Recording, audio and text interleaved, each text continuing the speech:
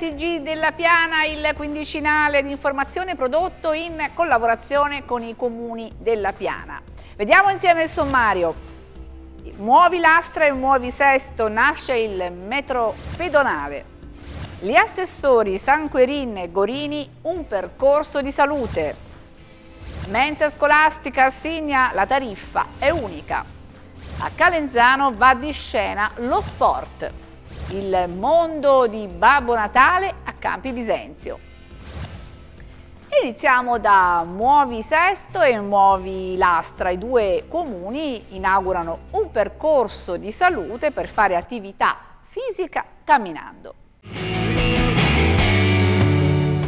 Non ci sono regole, non ci sono tecniche, punta solo al benessere del cittadino. Si chiama Muovi Lastra e Muovi Sesto e sono proprio i comuni di Lastra, Signa e Sesto Fiorentino ad aver messo a punto un percorso per potenziare l'attività fisica quotidiana di chi trova il piacere nel camminare, segnalando attraverso cartelli appositi o tramite una app per i più tecnologici i percorsi da attraversare in città. Una metropolitana urbana di nuovo tipo perché consiste in un percorso pedonale ad anello, il binario, di circa 6 km con diverse fermate, 7 a Sesto e 7 all'Astra, contraddistinte da un cartello. Scaricando l'app Metro Sesto e Metro Lastra è possibile conoscere gli orari della metropolitana pedonale, ovvero il tempo di percorrenza da una fermata all'altra basato sul proprio passo. Ogni treno può essere costituito da un singolo passeggero camminatore o da più persone organizzate nel gruppo Facebook ufficiale. La finalità è favorire l'attività fisica almeno tre volte alla settimana, come indicato dalle linee guida dell'Organizzazione Mondiale della Sanità, e quindi promuovere la salute e prevenire attraverso il movimento le malattie croniche.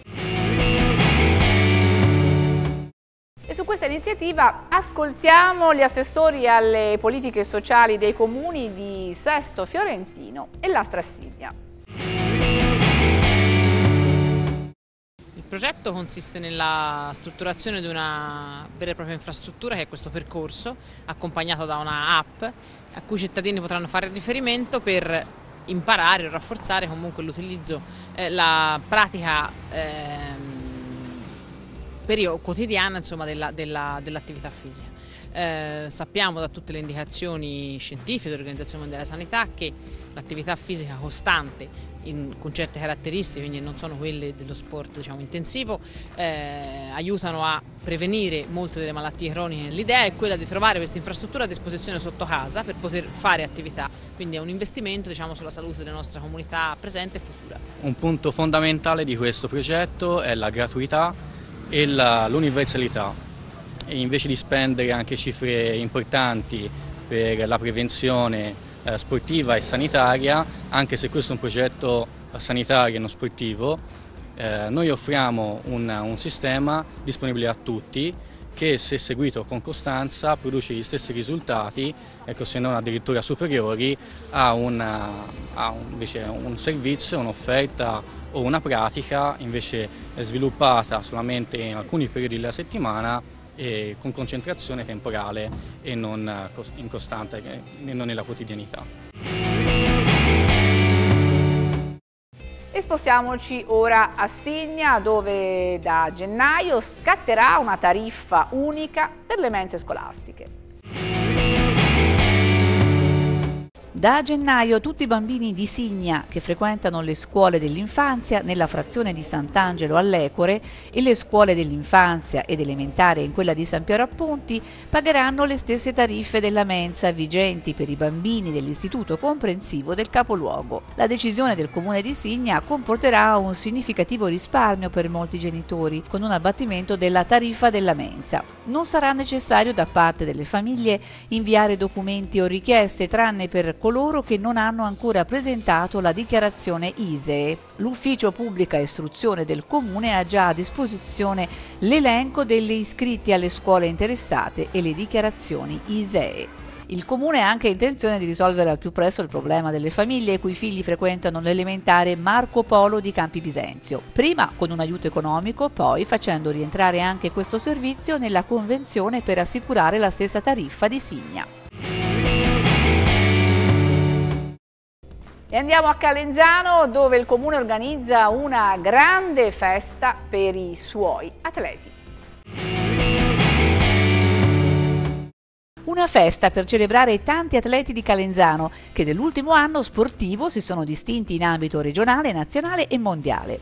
La festa alle 16.30 di venerdì 6 dicembre nell'aula magna del Design Campus. Sarà un momento dove premieremo i nostri ragazzi del territorio che si sono distinti per meriti sportivi dal provinciale al mondiale, perché abbiamo anche ragazzi che hanno raggiunto importanti traguardi dall'europeo al mondiale. Gli atleti premiati saranno oltre 150 nelle varie discipline, atletica, ciclismo, danza, equitazione, nuoto, triathlon, pattinaggio artistico, scherma, ginnastica, ginnastica artistica, karate, pallacanestro, pallavolo, sbandi bandieratori e tiro al volo.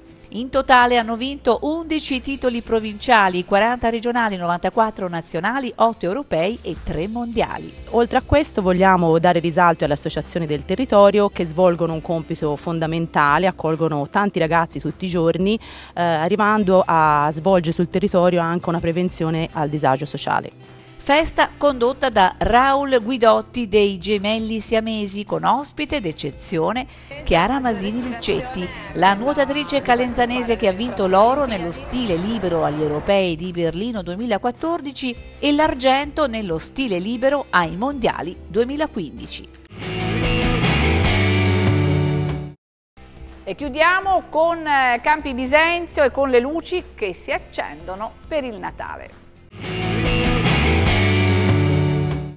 Campi Bisenzio fino al 22 dicembre ospita fiabesche suggestioni, la camera da letto di Babbo Natale, la sua tavola da pranzo, il suo ufficio postale, la maestosa e suggestiva sala del trono, la sua cucina, la sua slitta con le renne, il laboratorio dei giocattoli di legno e il punto letterina. Insieme al mondo di Babbo Natale a Villa Montalvo, le atmosfere natalizie invaderanno il centro cittadino di Campi Bisenzio. Un Natale veramente straordinario, straordinario con presenze straordinarie da, da tutte praticamente le parti più lontane, da Roma, Perugia, eh, l'Emilia Romagna, quindi veramente che abbraccia un po' tutto, anche i posti più lontani. Soltanto domenica al mondo di Babbo Natale praticamente 2000 presenze, soltanto in una giornata, quindi veramente contentezza, grande soddisfazione da parte di tutti è un mondo di Babbo Natale che ha praticamente abbracciato un po' tutta la città. Il mercatino di Natale ma anche la pista di ghiaccio in piazza fra Ristoro, le giostre in piazza Gramsci e altro ancora,